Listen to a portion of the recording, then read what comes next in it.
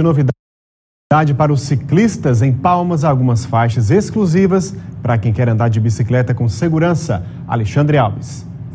Olá, boa tarde para você de casa. Então, é uma boa notícia para os ciclistas. E quem vai explicar para a gente aqui é a Joseísa Furtado, da Prefeitura.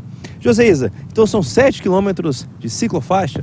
Em torno de 7 quilômetros de ciclofaixa. Essa ciclofaixa ela vem representar aquilo que nós queremos para a nossa cidade. Uma cidade com desenvolvimento urbano, onde a mobilidade urbana seja sustentável, onde haja um maior respeito ao ciclista, assim como ao pedestre, onde a gente consiga proporcionar não só mais segurança a esse público-alvo, mas também mais qualidade de vida. Então, é tudo que nós e todas as cidades hoje buscam para a população. Quando é o lançamento?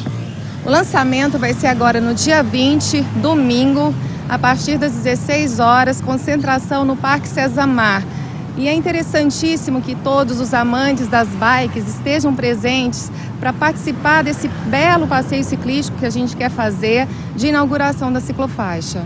É, e essa faixa especial para os ciclistas, ela tem início aonde, vai até onde, qual é o percurso dela?